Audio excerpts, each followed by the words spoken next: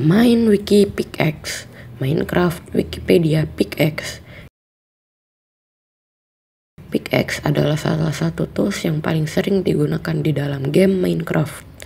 Pickaxe dibutuhkan untuk menambang ores, stone, dan blok-blok lainnya seperti netherrack, iron block, dan obsidian. Pickaxe bisa dibuat dengan 3 oak planks dan 2 stick. Pickaxe juga bisa dibuat dengan cobblestone, iron, gold, diamond, dan netherite. Terima kasih telah menonton video ini. Silahkan dislike jika mau dan silahkan like jika ingin.